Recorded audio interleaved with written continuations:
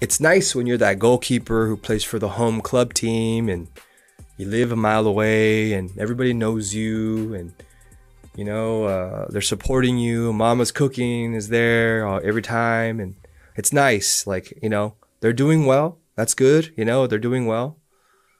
He's like but it's another story when you get another goalkeeper you put them in an, in an environment that they're unfamiliar with with people who don't know them culturally you put them in a different place a different time with a different playing style and they can still perform in that environment.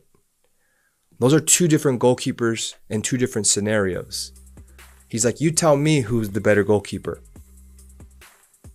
So I'm going to leave you with that. Because, yeah, you can be good. You can be good in one scenario, but can you really be good in a scenario that doesn't fit you fully? That's truly the test in certain cases.